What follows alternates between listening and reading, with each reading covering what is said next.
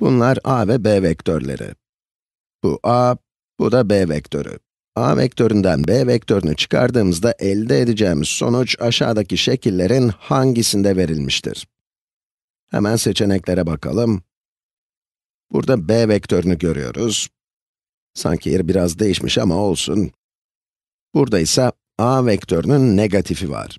Yani a vektörünün negatifine, a vektörünün negatifine b vektörünü eklemişler.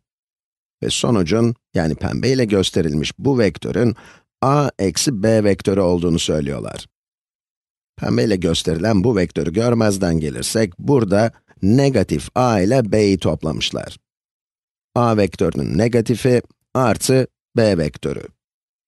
Bunu tabi b vektörü eksi a vektörü olarak da düşünebilirsiniz. Ama bu şekil a eksi b'yi göstermiyor.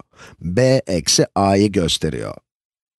Eğer burada bir eksi olsaydı ve bu da artı olsaydı, o zaman doğru olabilirdi. Bizden a eksi b'yi bulmamız istendiği için bu doğru değil. Sırada a vektörünün başlangıç noktasından b vektörünün bitiş noktasına gidiyorum. Sonra b vektörünün negatifinin başlangıç noktasına geliyorum. Burada b vektörünün tersine çevirmişler, yani negatifini almışlar.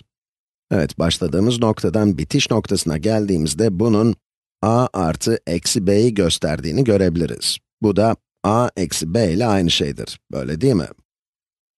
Evet, başladığımız noktadan bitiş noktasına geldiğimizde bunun a artı eksi b'yi gösterdiğini görebiliriz.